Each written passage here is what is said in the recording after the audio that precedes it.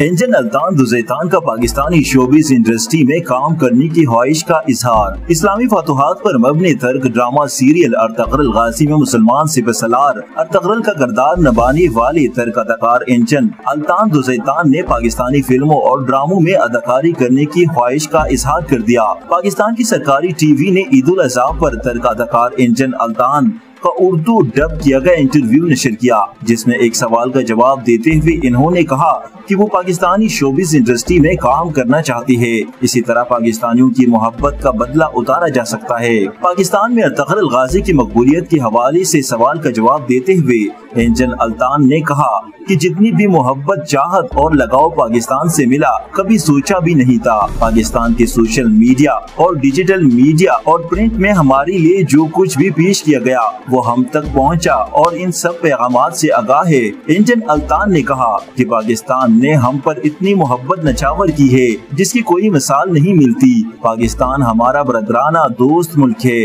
ہماری پرورش پاکستان سے محبت کی جذبات کی اظہار میں گزری ہے۔ اس کی محبت اور چاہت میں ہی ہم پلے بڑے ہیں۔ ڈرامہ سیریل اور تقر الغاسی سے متعلق ایک سوال کی جواب میں اینجل الطان نے کہا کہ یہ ڈرامہ جس انداز میں پیش کیا جانا تھا تو ہم نے سوچا کہ اگر ہم اس ڈرامے میں اپنی روح سمو دے تو یہ ڈرامہ ضرور کامیاب ہوگا۔ لیکن دنیا بھر میں اسے اتنی مقبولیت حاصل ہوگی، اس بارے میں کبھی سوچا نہ تھا۔ ترکہ دکا نے حالیہ سرگرمیوں سے متعلق بتایا کہ وہ اپنے گھر پر ہی رہتے ہیں اور انہیں اپنی فیملی کے ساتھ رہنا اچھا لگتا ہے۔